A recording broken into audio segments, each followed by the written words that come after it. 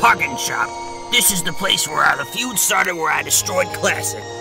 Grumpy Cheeto, I got something very important for you and Bobby Black and Wesley Light at the end of this video. This place where I officially began my feud with Classic and would gradually take over his channel and destroy him. This is symbolic. This place pumps me up, pumps the adrenaline up. I take personal pleasure in doing videos at this place because I love to destroy lives. Well, actually, I like to make people's lives better by showing them their flaws, and then they accept truth and reality. You phonies are better to accept for truth and reality and make my crazy pretzel t-shirt. I got something special at the end of this for you guys. You gotta love it. But before we go into that, let's go into the TNA Impact show. It was pretty good. Actually, it would be last night's show because today's Friday. Beautiful sunny day today.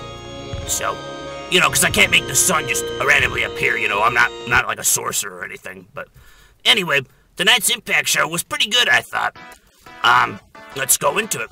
We start the show off with Hogan in the ring with Immortal. And then there's like these, it was like D'Lo Brown and these other TNA officials, like separating the um, Sting and RVD on the outside. And then um, Hogan's talking trash, and he wants, you know, demands to know who the uh, network is, who's behind it. Sting said that next week he'll find out who either he or she is. So we have to wait till next week to find out who's behind it. And then um, Robert Roode like starts um, well, basically, Immortal starts jumping the officials, and then Sting and RVD, and then um, Fortune runs out to make the save, and then Robert Roode starts talking on the mic to Hogan. Um, basically ripping on him, saying how Hogan was his, you know, childhood hero, how he wanted to become a professional wrestler because of him. And then now Hogan's, you know, you know, a vulture sucking the life out of the the money out of the company that they built. So this that's not really a, so much a feud with Hogan and Roode. It's basically going to be like a tag team feud coming up because next we have backstage Matt Hardy, cold-blooded killer Matt Hardy. He's not really that cold-blooded. I'm more cold-blooded than he is. But anyway, Matt Hardy's backstage talking, and uh, basically he says that um, next week he's gonna have a partner, like which we're thinking it's Jeff Hardy, but spoiler, it's not gonna be Jeff Hardy. But I'm not gonna totally spoil who it's gonna be. But uh, basically, he's gonna have somebody like come with. Uh, come with them to challenge Beer Money next week. We have uh, TNA's uh, Sin Cara wrestler, which is played by Amazing Red, Sangriento, and he takes on Suicide one on one. This match was pretty good. I gave it a 3 out of 5. Went about 5 minutes. Lots of good moves in the matchup. The match started off with a nice head scissor on Suicide to the floor by Sangriento. Then we had a uh, final cut by Suicide for a two count. And then the finish of the matchup was Suicide was going for the uh, Ozzy Osbourne Suicide Solution, which uh, he countered with a uh, Frankensteiner, and then um, and then he uh, basically hit like this uh, springboard reverse like diamond cutter move and pinned him with that. So Sangriento wins his debut on uh, Impact, and congratulations to him or congratulations to Amazing Red. At least he's getting getting to wrestle and get some airtime, even though it's not Red. Or is it? I don't know. Anyway, next we have uh, Hogan and Bischoff backstage again discussing who's behind the network, and they they talk about if it's Ric Flair or not, but then Bischoff's like, nah, Flair doesn't play. Flair is dirty though. He wouldn't do that. So discussion continues. Next we have Mexican America in the ring, celebrating Cinco de Mayo which uh, is a fine holiday, and you know, I definitely salute the what. I think with Cinco de Mayo it was like they won like a huge battle against the French or something, which like kind of fulfilled the revolution against the French. I, I forget exactly what it is, but um, you know, total props to him. But I'm sure the Mexicans aren't really totally happy with a uh, racist uh, TNA angle here with uh, Hernandez and uh, Anarquia.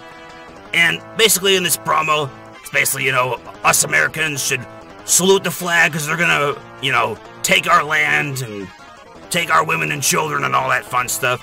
You know, if you're gonna take something, you might as well cough up the money to actually purchase some land. So, because actually, if you try taking anything, I think the government would probably shut you down pretty quick. So, maybe if you show some money that you could purchase some land, maybe the government might be a little more easy with you. Just saying. So, Anyway, to sum up this promo, basically they call Hector Guerrero and Hector Guerrero's other Spanish commentator of the ring. Hector Guerrero is Mexican, they're, you know, totally props to him. The other guy's Puerto Rican, so they beat the crap out of him. Or, well, they, they shove him down they're gonna beat the crap out of him, and then they're gonna beat up Hector too. Inked Ink comes out and makes the save. Everyone's happy. So I guess we got an Ink Inc. Mexican American feud. Which doesn't make sense, because last week we had Shelly and Sabin, you know, chase him off. So shouldn't there be a feud between those two guys with these guys. So unless they do some kind of three-way feud, it kind of doesn't make sense. So I don't know. I think we'll at least get Ink Dink in Mexican America, but who knows. I didn't like that they didn't include the Motor City Machine Guns. Next, we have uh, tag team match Bully Ray and Gunner against AJ and Christopher Daniels. Um, I gave this a 3 out of 5. Um, AJ and Daniels won via DQ. Most of the match was actually just offense on uh, Gunner for the good guys, pretty much. Uh, there was a nice total elimination modification maneuver, I could call it. Modified total elimination. You don't know the total elimination? Look up the Eliminators. Awesome tag team in ECW back in the day. So, AJ, like, Daniels is beating up Gunner. Gunner fights back, and then AJ gets tagged in, hits a nice springboard uh, flying forearm. Then he's gonna do another springboard move, and then Bully Ray, like, shakes the ropes and stops him. So then Bully Ray grabs his chain and comes in the ring. You figure this would be a DQ at this point. Then Tommy Dreamer, of all people, runs out. And uh, looks like he's gonna go after Bully Ray. Then he pile drives AJ. The, then the ref rings the bell. So the weapon, you know, using the weapon wasn't a DQ, it was the interference. So, so AJ and Daniels win um, by, D, by DQ. So then backstage, like next segment, everyone's all like, I can't believe Tommy did that, man. I can't believe it. You know, and then they sh- they're, today's like, we're gonna get a word with Dreamer. Then they just show Dreamer like knocking over lockers and tables and, you know, going, ah, or something like that. And then, um, AJ and Daniels are talking, and AJ's like flicking his fingers like he lost, you know, circulation to his fingers or something from the pile driver.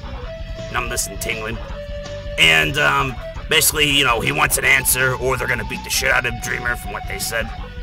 So then we have Matt Hardy and Bully Ray backstage, and then Bully Ray's kind of bragging that Dreamer made the right decision, and then he's gonna enjoy toying with his mind. So, so basically, what TNA's doing with this whole Dreamer thing is they're doing like the, if you kind of remember the HBK JBL storyline from a couple years back, where like HBK was broke and he started working for JBL against his will. This is kind of what it is. It's basically Dreamer having to work for Immortal to keep his job to feed his family or something.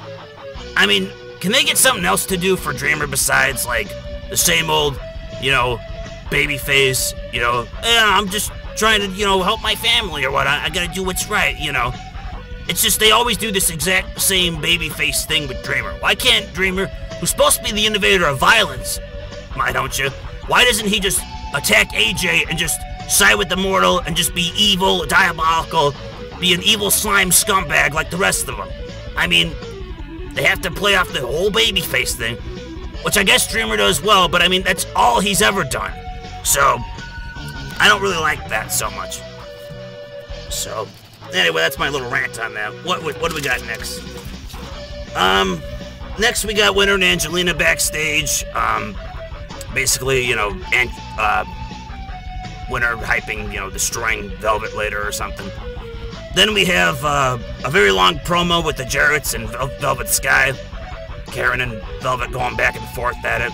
This promo was actually pretty entertaining, it was kind of long, but it was pretty entertaining. But basically, at first, Karen's gonna make um, Winter and Angelina against Velvet like in a handicap match. Then Kurt Angle comes out and says he's talked to a network executive, and uh, it's gonna be uh, still a mixed mixed handicap or a handicap match, but it's going to involve Kurt Angle on Velvet's side and Jeff Jarrett on their side. So that's our main event. Um, good promo, just went a little bit long. Next, we had Bischoff backstage talking with Gunner and Murphy, and he's sick of those guys, and he like he's gonna have them face each other, and then whoever loses gets fired or is out of a, or out of Immortal at least. So then we have next Crimson looking for Samoa Joe backstage with a sledgehammer, a la Triple H. Then we have Murphy versus Gunner. This match was it was okay. It wasn't the worst match ever, but it wasn't great. Um, I gave it a two out of five. It went about three minutes or so. Um, Rob Terry wins the matchup. He like won it with a suplex countered into a power slam. So wasn't the worst match ever, but I would have rather have seen Rob Terry get kicked out of Immortal and Murphy, even though I don't like either guy. Next we have, uh, well actually this next backstage segment was funny because it was Hogan and Bischoff again.